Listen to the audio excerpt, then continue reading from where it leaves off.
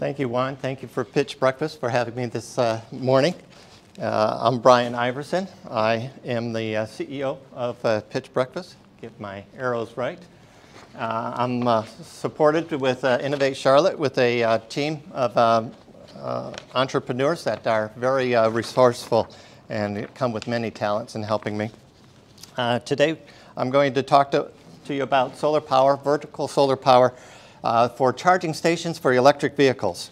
We have a problem today with the electric vehicle charging stations. Our transmission lines to our homes are not adequate to handle the power necessary. As with California, they had to stop uh, charging electric vehicles between 3 p.m. and 8 p.m. because they didn't have enough uh, infrastructure uh, to handle the additional power. You've got uh, enough power in one electric vehicle in one day for what a, a, small home would use in one month. So you've got to keep in mind that electric vehicles take a lot of power. Uh, electric vehicle owners uh, have a big problem finding places to charge their uh, EV. Even in Charlotte here, uh, I've seen the EV stations uh, fully uh, booked and unavailable. they have to plan their route for the next charging stations. And the cost of installing them is astronomical, especially when you have to run power uh, to the uh, charging station and you don't have an on-grid uh, source. We're talking about uh, electric vehicles. Uh, the growth is exponential. Uh, we're talking about new laws that are in place for zero emissions in which they must, must switch over to electric vehicles. 15 states have signed a memorized a, a, bill saying that in 2025, 20% uh, will be uh, electric vehicles. Hawaii and California will be 100% in 2035. In 2040, uh, you're going to have global domination. Uh, we need two or more charging stations uh, per electric vehicle. This makes uh, for tremendous growth. President Biden has announced a $7.5 billion bill to uh, initiate uh, charging stations for electric vehicles across the U.S. So our solar solution uh, for the electrical vehicle charging stations is to provide power for the EV. Uh, doing so, we eliminate the added expense of new transmission lines, provide remote locations, and eliminate uh, high installation costs. And we can provide the solar power with our existing parking lots because we're vertical solar. Our solar power fits the model of zero emissions because we're renewable, quiet, clean, and can locate anywhere. We can locate our systems at homes, businesses, and compact spaces where no uh, solar power can uh, be installed. Once installed, there's no operating expense, no maintenance costs. Reducing the uh, electric vehicle expenses uh, provide huge savings for companies that run uh, EV uh, vehicles, fleet vehicles, excuse me. Uh, that's a, their prime targets uh, for charging stations. Uh, our solution, um, uh, we're working on an octagon-shaped uh, panel assembly that wraps around the pole 360 degrees. We're the only ones that can provide up to 3,000 watts of power in a 36-inch diameter space on the ground.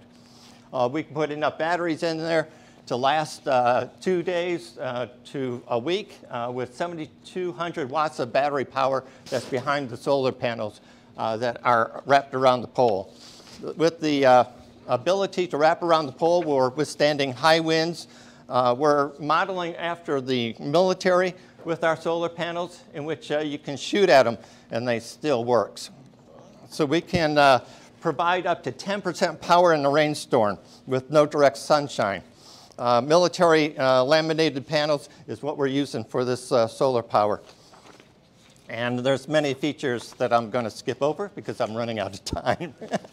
Excuse me. Our ask um, is uh, for a demo unit that we want to put on UNC uh, Charlotte campus with EPIC documenting the power. Uh, we already have existing uh, units uh, that are set up for remote uh, solar powered uh, camera security systems. So we know it works. We just need to scale up from that uh, point in time. The return, we're looking at 1900 per vehicle with 3,000 vehicles in a two-year time span. So we're looking at quite a few. We're looking at 6 uh, million charging stations in 2021. We're estimating 2% of them will be solar power. This is based on remote locations that would quickly purchase solar power because it's cost effective. Uh, we have several uh, dealers that we have uh, talked to. We've talked to uh, electric uh, uh, vehicle manufacturers. We even have an electric motorbike company that wants to include us on their website for solar power charging stations. Uh, our target, of course, are electric vehicle owners, but we look to contact 65 manufacturers of electric vehicles, car dealerships, fleet vehicle owners, government agencies, franchise companies, and electric motor, bike, and cycle uh, manufacturers and dealerships. The federal government alone has over 600,000 electric vehicles in 2022. So in summary, uh, we can uh, uh use our advantages for the uh, electric vehicle, and uh, we can uh, provide a huge uh, uh, opportunity to satisfy solar power in a remote location. Um, we can change the way we look at solar power with the vertical solar power. We can also change the way that we finance it. We can finance it like a car. So with that, um, Vertical solar uh, provides renewable energy for charging your electric vehicles, which can be remotely located anywhere. And thank you.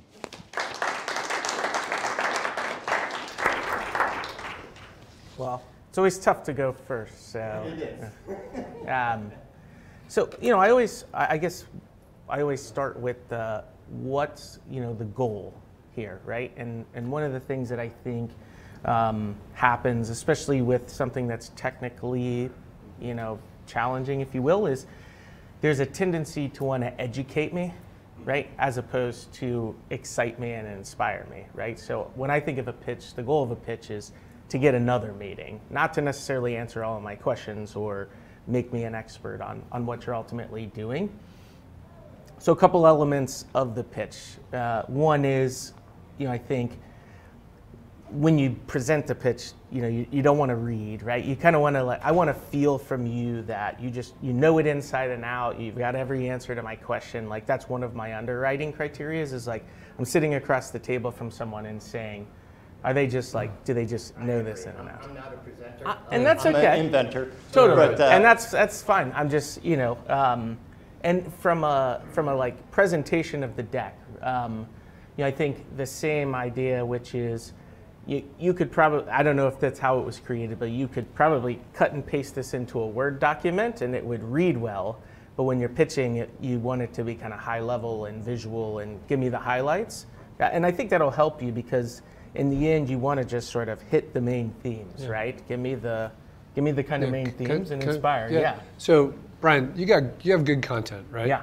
And I, I want to describe somebody that's your friend, okay? Somebody that you know someone who you think of as like sort of a sales and marketing oriented person who's a really good storyteller. Can you imagine such a person?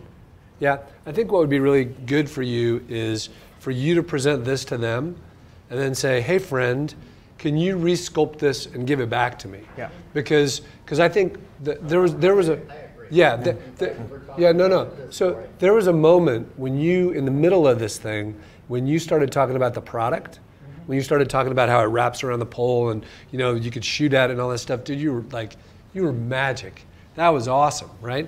And if you can get there with the storytelling part of this, it'll like your ability to go get the hundred thousand will increase, right? That's what I think, right? Yeah, yeah, yeah for sure. Yeah.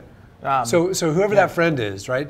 Make a list of a couple of friends and say, hey man, like I'm gonna pitch this to you. You resculpt my slides and then come back to me and pitch it to me, and then you'll have something to work with, in my opinion. Yeah. Yeah. And, um, you know, so I agree. I think there's probably something technologically interesting here. I think helping me helping me understand and quantify and, and mash up against how this problem is solved today and what's technologically superior about what, what you're doing is, um, is very useful, right? Because I, I don't own an EV at this point, but um, I, yeah, I was, get a sense yeah, kind of I, I, was, I don't know about y'all, but I was really educated by the power consumption associated with one of Right. these cars. Yeah. Right? That was that was real news for me, and I think all of us know that electric that electric vehicles are like happening, right? And so like this was a problem I was not aware of, and like that was like that was a that was a good moment. I think I would emphasize that. Yeah. Yeah, yeah, because you always want to be on the right side of a trend, right? Um, There's a lot happening in the electric vehicle uh, marketplace. They're not going to be just used for transportation. Uh, Ford is saying that their uh, electric vehicle truck is going to be uh, something that they take to the construction site. And there's 12 outlets on the truck. They're also pitching it, saying that the truck's power will run a house for 10 days. Um, We're also looking at the electric bikes uh, that can be street legal. And uh, this one's the cheapest in the US at $6,000. And we're talking about uh, electric uh, bikes as well, especially for law enforcement uh, uh, agencies and such. Um, So there's a lot of different um, avenues right now for electric vehicles besides cars. Um, There are rentals that you can get from Hertz now that are electric vehicles. Uh, Ryder does a uh, electric box uh, truck that you can rent to, to move your house. Uh, there are electric planes out there. There's everything that's gone electric. So being vertical solar, uh, I can put the same solar in the same parking spot as the electric vehicle and charge it up with no change in the infrastructure. That is huge. Here's a sample of my solar power that I brought with me, so feel free to touch it afterwards. I want to say this to you too. I think that your value proposition of raising $100,000 to build a prototype and kind of demonstrate sort of a proof of concept thing, um, I think that the people that you pick to solicit for that money is really going to have a big impact on how successful you are. Yeah.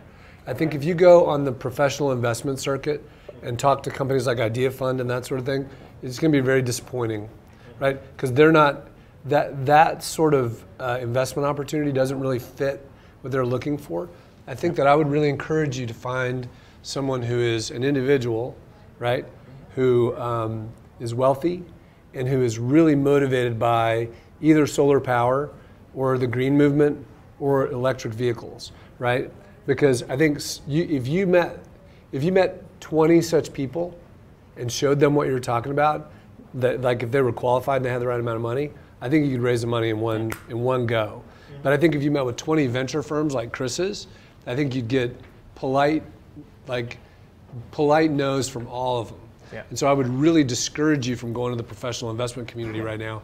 I would really encourage you to find high net worth individuals who have a passion for the space. think think SVP The, uh, up at one-on-one Duke pitches. Energy or Siemens or you know places like that. Yeah. One pitch with the individual Yeah. is far more effective so than like- a group of 100. So, so I think, like as an example, the Charlotte Angel Fund, which is a great resource to our community, um, I think it's very unlikely that the Charlotte Angel Fund would invest in you. I think it's very likely that a member of the Charlotte Angel Fund would, right? Right. And so, like, that's sort of the way to think about it, right? In my opinion.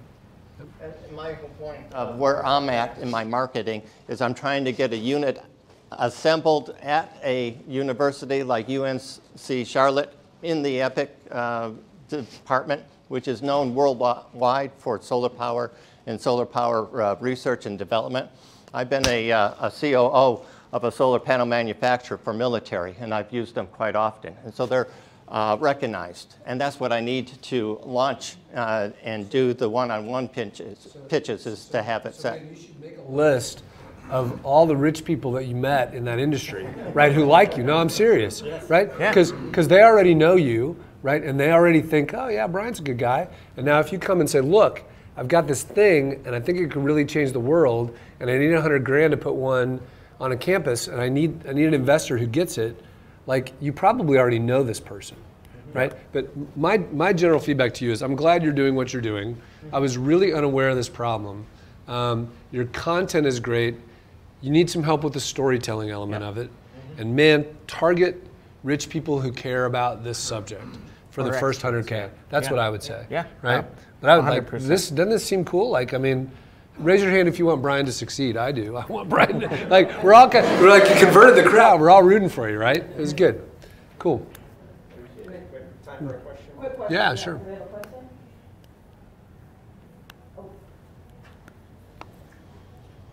Who's your customer? I have uh, targeted electric vehicle manufacturers where they can offer it uh, at the same time that they're selling their electric vehicle to their customer. I'm looking at uh, fleet vehicles. I'm looking at those that are franchises like hotels, restaurants uh, that can put out the solar power out in their parking lot. Um, of course, uh, electric vehicle uh, owners are, are a big uh, part of it. Government, especially with 600,000 uh, vehicles uh, that are just in 2022 alone that will come out. That's including the post office trucks. That's including the Forest Service, um, the Park Service. So there's a lot of electric vehicles out there uh, that can need a charging station. Can I, can I give you one piece of thought on that too? So, um, I think that's a really wide range of customers. So, as a professional investor, my interpretation of that is you don't know who your customer is. And that's fine. I think you're building a prototype, right? So, I'd almost put it as here's our hypothesis, like these are who we think our customers are going to be. Um, but the goal, especially as you get to like version 1.0, oh, perfect. I've got two. Uh, Amazon with the uh, uh, Sprinter truck that's coming out from uh, Mercedes. Uh, that's the contract that's already uh, announced. And the second one is uh, in Charlotte alone called Arrival. They've got the uh, UPS contract for electric vans. I've got two customers And that I'm both of them are very similar. Very. So that's your customer, right? Your customer are people who manage large fleets today, right? Right. So go deep on that customer. I'm guaranteed that gets you to a market size that's good enough. Um, the wider you spit on, on customer segment, the less I believe that you know who your customer is. But you've got two great customers, so highlight those. Right. So, is this working? Yeah. Okay. I don't even think I need it anyway, do I? um, so my question is, how do they typically? How do these charging? Because there's one in my apartment complex that I'm living in now. Um, but they, I, I don't see a solar panel. Or how do they typically? How are those things set up? Is this something new? To, yeah. innovation. I put two uh, solar panels together in an octagon shape. So I've got a sunny side, I've got a shaded side. As the sun passes over, I get the sunny side to be the shaded side and the shaded side to be the sunny side. And I take the power individually from each of the panels and putting it into the battery separate so I don't lose the power from the sunny side going through the shaded side. So this is my IP, this is my intellectual property. How do they do it now? Uh, Right now, they put solar panels on the roof or solar panels on the ground. They spread it out. And apartment renters, they don't have a chance uh, to even use solar power because they don't have the space. They don't own the, uh, the space on the ground or in, uh, on top of the roof. Whereas I can put a pole right at the parking uh, lot uh, uh, spot that they own, and we can provide uh, solar power with two wires running to their uh, meter, and they're all set to be off-grid with solar power. Nothing on the roof, nothing spread out on the ground. Brian, when I was describing, you want to talk about the storytelling thing? I'll tell you somebody who could help you with that is Juan. Right? That's what he does. It's good. No, no, it's true. It's what he does. Right? And I, like, I didn't even think about that till now, but like, that would be a good use of resources, in my opinion. All right, with that, let's give a uh, big round of applause to Vertical Solar, Brian.